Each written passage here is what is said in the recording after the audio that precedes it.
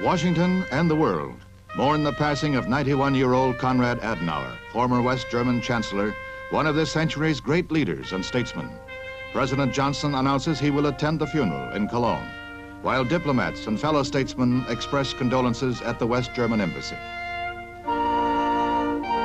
Der Alte, or the Old Man as he was affectionately known, was the rebuilder of a shattered and disgraced post-war West Germany.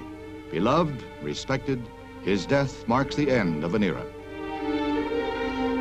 In 1949, Adenauer, already a national father figure, former mayor of Cologne, and strong anti-Nazi spokesman during the war, became West Germany's first post-war chancellor and started the long, difficult job of rebuilding his nation.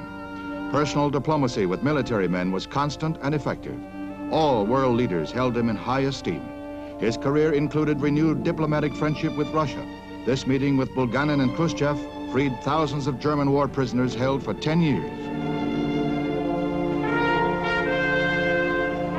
Physically, a man of fantastic energy, emotionally compassionate, and spiritually a devout Catholic. His favorite maxim, I am a man. I count nothing human indifferent to me. The world community will miss him.